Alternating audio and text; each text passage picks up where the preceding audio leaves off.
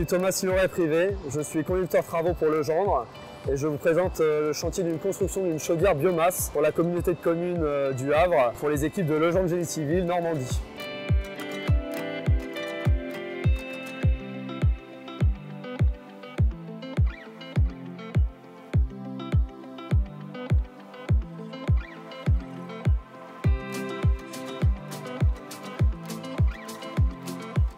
Ce chantier a débuté il y a presque un an avec les équipes principalement de Normandie. Nous avons euh, réalisé une boîte de 35 mètres de hauteur en 4 levées.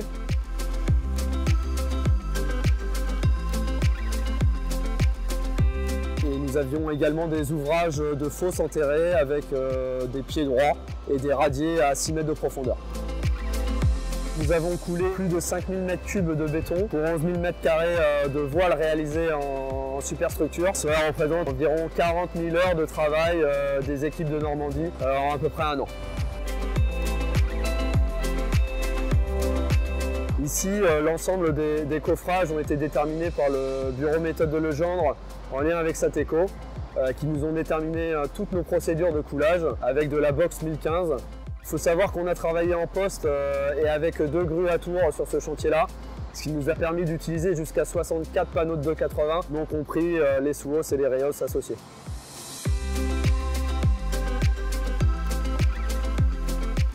C'est de la passerelle euh, P3D. Aujourd'hui, nous en avons 70 sur place.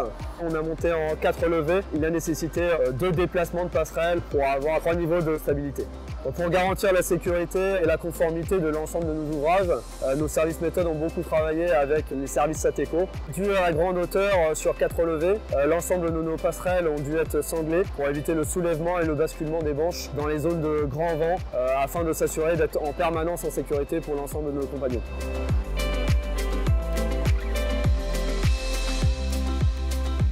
À la grande hauteur et à la poussée euh, du poids du béton sur les épaisseurs de voile, les procédures de coulage et les durées de coulage ont été définies par Sateco et appliquées par les équipes ici. Chaque rotation et chaque déplacement de passerelle ont été dessinés sur des plans méthode associés. Il n'y a aucun hasard sur ce chantier-là, tout est planifié.